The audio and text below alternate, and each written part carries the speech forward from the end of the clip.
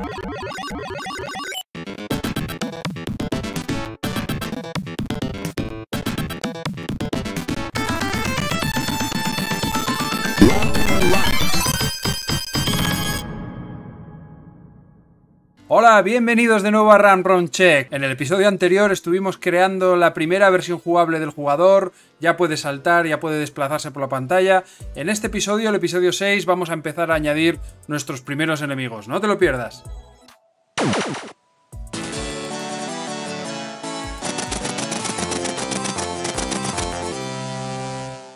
Antes de nada, un pequeño truco. Algunos de vosotros me habéis preguntado por qué al desplazar el jugador sucedía esto veis que empieza a girar como si fuera un disco.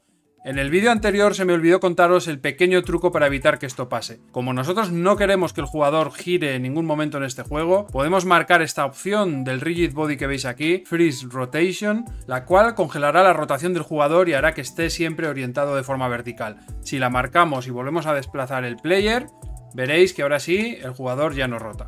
Vamos a empezar a trabajar en nuestros primeros enemigos. Si recordáis de los primeros episodios, teníamos un atlas de texturas con todos los sprites del jugador. De la misma forma he descargado un segundo atlas de texturas, este que veis aquí que pone enemies, con todos los sprites de todos los enemigos del juego. Si lo abrimos en el sprite editor, podéis ver que aquí hay muchísimos sprites de distintos personajes del juego. Vamos a empezar a trabajar en uno de los más básicos, los zombies. Como veis, los zombies tienen diferentes animaciones. Una animación que se reproduce cuando aparecen en las escenas, el bucle de caminar, que es este de aquí, que se reproduce mientras los zombies están andando, y una tercera animación que es la de desaparecer. Dado que ya explicamos en los primeros episodios cómo crear animaciones y controladores, no lo repetiré ahora. Simplemente he creado tres animaciones, una que se llama Zombie Start, Zombie End y Zombie Walk, y he creado un controller como este que veis en pantalla que incluye los tres estados que después controlaré desde el código igual que hicimos con el player. Vamos a ello. Como siempre, una vez he arrastrado mis sprites de zombie a la escena y ya tengo un elemento aquí creado al cual le he dado el nombre de zombie, nos faltaban de añadir los componentes de siempre, vamos a añadir un Rigid Body 2D y un Box Collider 2D. Voy a añadir un comportamiento nuevo que en este caso va a controlar el behavior del zombie. Y nuevamente va a ser un script escrito por nosotros,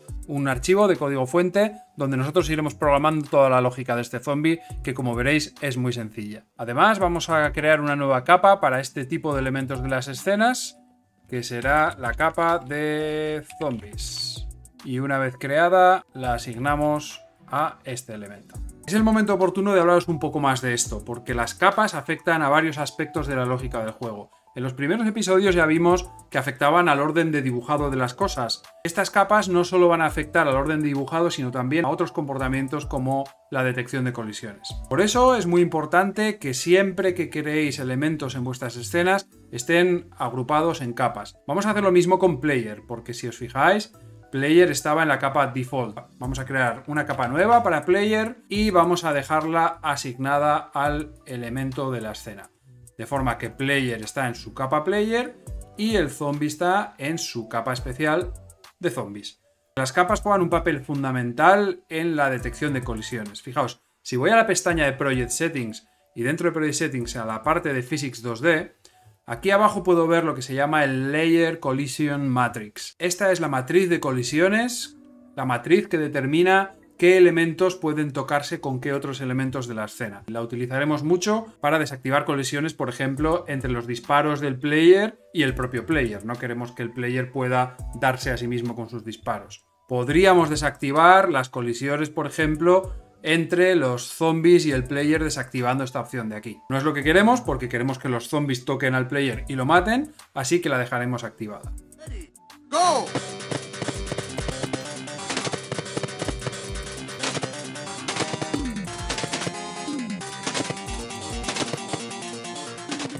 Podemos volver a la solución Visual Studio y veis que inmediatamente aparece una nueva clase que se llama Zombie y que por defecto está vacía como siempre. La primera lógica que tenemos que controlar en el caso de los zombies es gestionar la transición de estado cuando termina la primera animación. Recordad que el zombie debe aparecer como si saliera de la tierra y cuando esa animación termina es cuando debe empezar a ser peligroso. Si lo tocamos con el player nos mataría y justo en ese momento es cuando tenemos que empezar a reproducir la animación en bucle de caminar. Esto se puede hacer de muchas formas distintas, con transiciones de estados en el propio controller o desde código. En este caso nosotros vamos a optar por la segunda opción. A fin de cuentas esto es un tutorial de programación, así que fijaos lo que voy a hacer.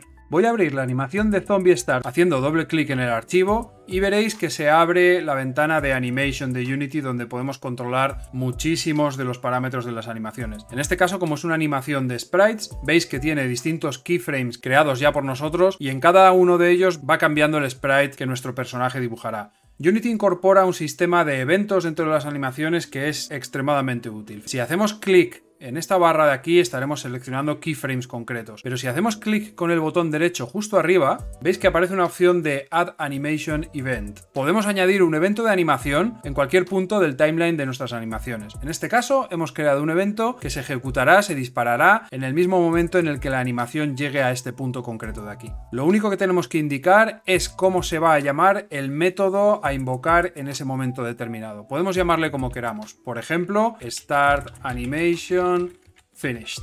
Salvamos los cambios, volvemos a Visual Studio y lo único que tenemos que hacer ahora es crear un método público que no tenga parámetros y que se llame exactamente igual que el nombre que hemos puesto aquí. Podemos copiarlo y pegarlo y así nos aseguramos que no cometemos errores. Si Unity no fuera capaz de encontrar un método con este nombre en ninguno de los componentes asignados al GameObject, sacaría un aviso de error por la consola. En este caso, como el método existe, podemos incluso poner un breakpoint, adjuntar la depuración a Unity como ya vimos en el episodio anterior, y si ahora pulsamos en play, veis que cuando la animación termina, el código pasa por aquí y salta nuestro breakpoint, ¿vale? Pues esto funciona.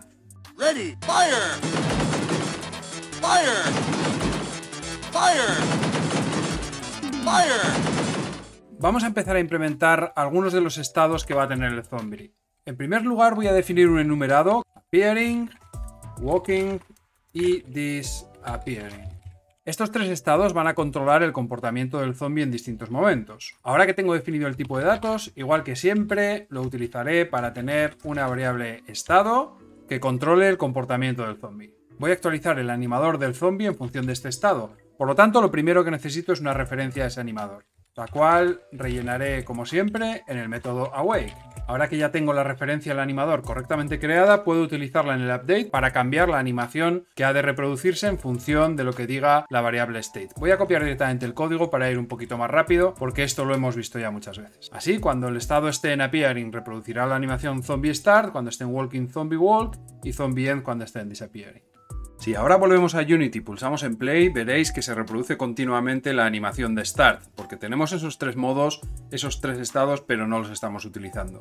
Como ya hemos creado el evento de animación que saltará, se ejecutará cuando la animación de Start llega a su fin e invocará este método, podemos utilizarlo muy fácilmente para cambiar el estado del zombie en ese momento simplemente con esta línea de código, volviendo a Unity y pulsando en play, cuando la animación de salir de la Tierra termina, pasa a la animación de Walk, lo cual es justo lo que queríamos, así que funciona. Vamos a implementar una segunda lógica muy sencilla que es hacer que el zombie sea inofensivo mientras está apareciendo y desapareciendo de la Tierra. Esto lo vamos a implementar muy fácilmente activando y desactivando su collider, para que las colisiones con el player ni con el resto de elementos ni se detecten en ese momento. Además, tendremos que cambiar la velocidad del rigid body porque querremos moverlo cuando está andando, pero que esté quieto cuando está apareciendo y desapareciendo de la Tierra. Para ello voy a añadir dos referencias a dos componentes igual que siempre, el rigid body y el collider, y las relleno en el método awake, como hemos hecho ya muchísimas veces. Ahora, en el método start, que como sabéis ejecuta después de la wake, voy a deshabilitar el collider para que en el arranque esté inactivo. Esto, como hemos dicho, hará que el zombie no choque con nada. ¿Cuándo lo tenemos que volver a habilitar?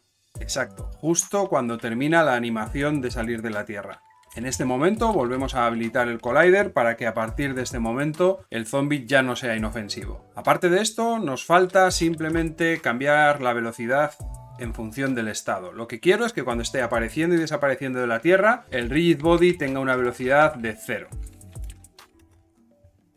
Y en el caso de que el zombie esté andando, que entonces sí se desplace a izquierda y a derecha. Cuando el zombie esté caminando y se cuando el esté caminando y choque con algún obstáculo, tendrá que dar la vuelta. Por lo tanto, la velocidad de desplazamiento por la pantalla tendrá que ser positiva en X o negativa en función de si está mirando hacia la derecha o hacia la izquierda. Voy a añadir aquí arriba un flag que me indique precisamente eso, si está mirando a la derecha o a la izquierda. Y ahora utilizaré ese flag para determinar si la velocidad tiene que ser negativa o positiva. Eso para el componente X. Para el componente Y respetaré la velocidad que ya trajera el rigid body calculada por el motor de física. Solo nos falta añadir ese parámetro que en este caso será una variable pública de tipo float y será speed x. Podemos inicializarlo a un valor de 3, por ejemplo, y multiplicarlo por el resultado de esta operación. Ahora sí, tendremos un movimiento del zombie bastante más parecido a lo que queríamos tener en el juego original. Una de las pocas cosas que nos faltan para completar la lógica del zombie es que se dé la vuelta cuando choca contra un elemento de la escena. Para implementarlo voy a utilizar una técnica nueva pero muy muy sencilla.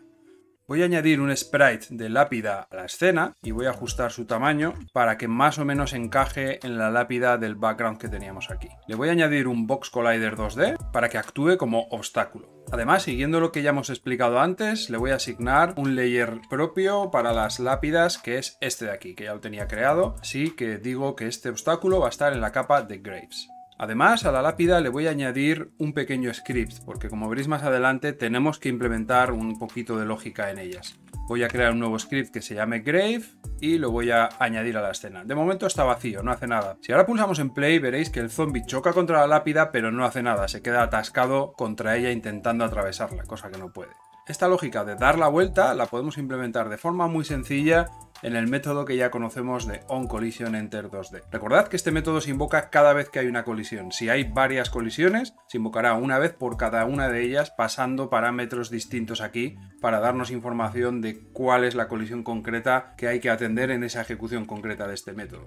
Uno de los parámetros que más nos interesan es este collision.collider que nos da acceso al collider 2D del otro objeto con el que el zombie ha chocado.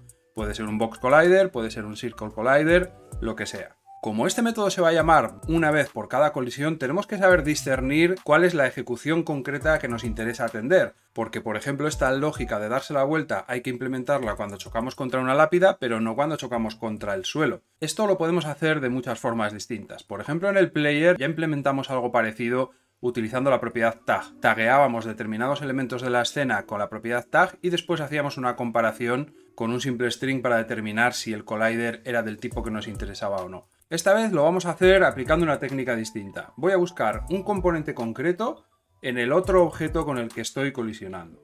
Es decir, accedo al collider del parámetro collision que se pasa a este método y ahí directamente busco un componente concreto. ¿Qué componente? El que acabamos de crear para las lápidas. Si yo me quedo con el resultado de esta llamada, puedo comprobar simplemente si lo que devuelve es nulo o no, para determinar si el objeto con el que he chocado tiene un componente de tipo Grave. Y si lo tiene, es que será una lápida. Así puedo implementar la lógica de darse la vuelta solamente en ese caso, y por lo tanto no afectará cuando choque con otro tipo de cosas como por ejemplo el suelo, porque esta condición no se cumplirá. Para lograr el efecto de que el zombie se dé la vuelta y camine hacia el otro lado, simplemente tendremos que negar el valor de look left para que si era true se ponga false o al revés. Si pulsamos en play veréis que el zombie al llegar a la lápida empieza a caminar en la otra dirección aunque el sprite no se da la vuelta porque todavía no hemos implementado la funcionalidad de voltear el sprite. Y aquí viene algo interesante. Si recordáis esa funcionalidad de voltear el sprite ya la implementamos en el player. Teníamos un parámetro muy parecido este mLookLeft que nos indicaba si el player miraba hacia la izquierda y lo utilizábamos para voltear el, sprite renderer del player. Ahora llegamos a un punto en el que tenemos que implementar exactamente lo mismo para el zombie. Y es muy importante que en este tipo de situaciones entrenéis vuestro cerebro de desarrolladores para que se os enciendan esas bombillitas de las que os hablo a veces, esos warnings que deben empezar a activarse cuando veáis este tipo de situaciones. Porque vamos a implementar algo que es exactamente igual o muy parecido a lo que ya teníamos y duplicarlo sería un error. Una de las cosas más importantes que tenemos que aprender como desarrolladores es que nunca, nunca, nunca debemos duplicar código, decisiones, assets o cualquier otro tipo de elemento de nuestros juegos. Siempre que os veáis en la situación de copiar y pegar código o cualquier otro elemento, tenéis que preguntaros si esa duplicidad se podía evitar de alguna forma. Y si se puede evitar de alguna forma, entonces se debe evitar. Ready, go.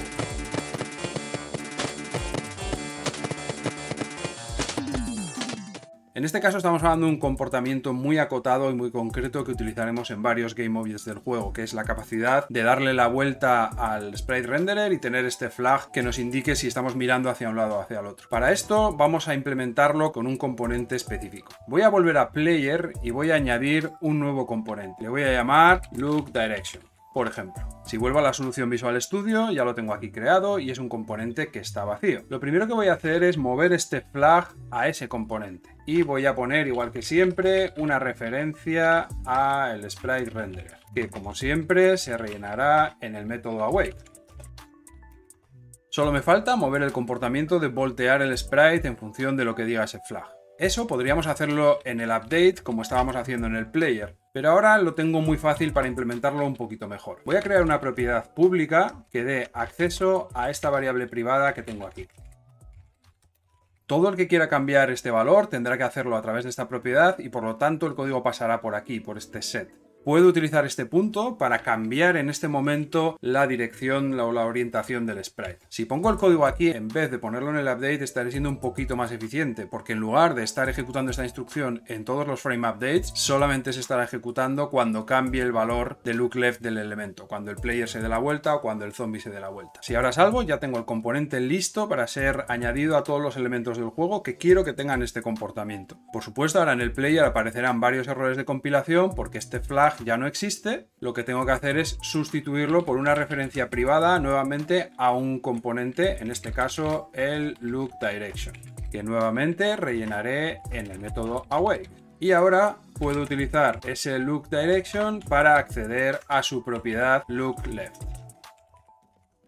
Solo nos falta el método update graphics, que esto ya no hay que hacerlo aquí, porque ahora ya se hace en el componente que acabamos de añadir de look direction. Podemos pulsar en play para comprobar que todo sigue funcionando en el player correctamente, veis que se da la vuelta. Entonces, ahora que ya tenemos esto componentizado, simplemente con añadir ese componente, solo tenemos que venir al código, dejar de utilizar este flag, añadir una referencia al look direction, que nuevamente se rellenará en el método awake, y ahora en lugar de utilizar este valor, usamos el que nos diga ese componente look direction. Tanto aquí como aquí. Si ahora salvamos y volvemos a Unity, ahora sí veréis que el zombie cuando choca con el obstáculo se da la vuelta correctamente. Pues este es el comportamiento que queríamos. Y lo mejor de todo es que ahora tenemos un componente, look direction, que podremos reutilizar en todos los game objects que necesiten esta funcionalidad. Ahorramos trabajo y más importante aún, no duplicamos. Si insisto tanto en esto de no duplicar es porque es importante. Imaginad que no hubiéramos visto esto y empezamos a copiar y pegar este código por todas partes. Terminamos en un juego grande con 87 elementos del juego que comparten este comportamiento y que han copiado y pegado el código. Imaginad entonces que algo cambia. Tendríamos que ir buscando por 87 sitios distintos para ir refactorizando y aplicando el cambio 87 veces, lo cual es mucho trabajo, ese es el menor de los problemas, el auténtico problema es que seguramente de las 87 veces nos olvidemos una o dos, con lo cual tendremos un nuevo bug en el juego que además era complicado de detectar, así que recordad, siempre, siempre, siempre evitad duplicar las cosas.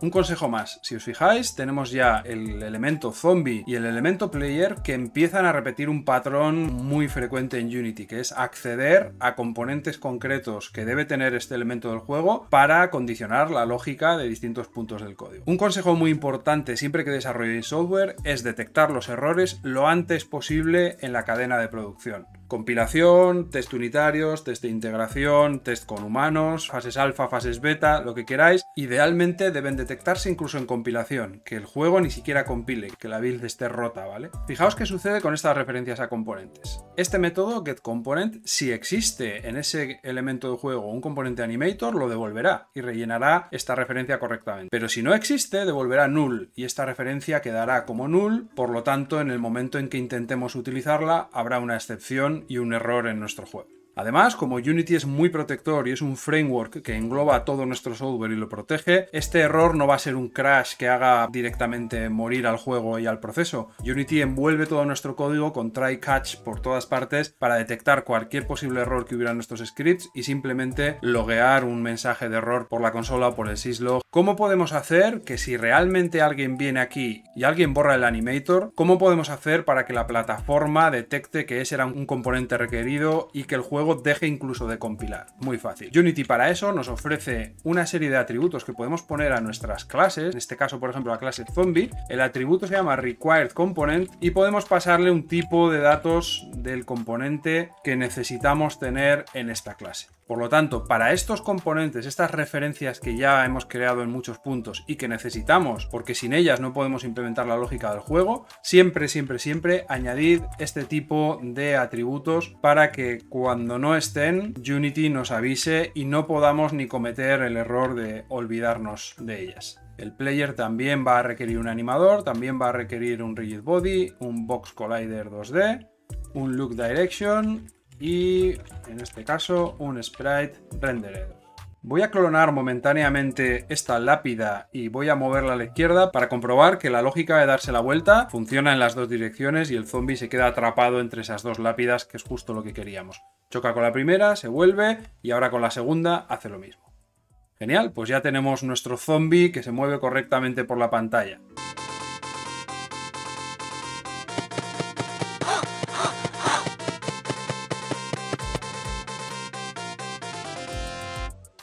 Podría estar tentado de hacer algo parecido a lo que he hecho con la lápida y duplicarla más veces para ponerla en más sitios. Imaginad que he hecho esto y he puesto cuatro lápidas en estos cuatro puntos del escenario. Si atendemos a lo que hemos dicho hace unos minutos de no duplicar, aquí debería encendérsenos otra vez esa bombilla y decir, estoy duplicando cosas y esto es un error. Fijaos que este concepto aplica no solamente al código, ahora mismo no estamos escribiendo código, estamos en Unity y también debería encendérsenos esa bombilla. Estamos duplicando elementos de juego que tienen una configuración determinada y los hemos duplicado cuatro veces. En realidad deberíamos duplicarlo un montón de veces más porque como veis hay muchas lápidas por el escenario. Esto es un error por el mismo motivo que decíamos antes. En este caso parece que no estamos haciendo más trabajo de la cuenta porque duplicar cosas en Unity es tan fácil como pulsar control D. Por eso este es un error que se comete tantas, tantas veces, porque duplicar cosas muchas veces es la opción sencilla.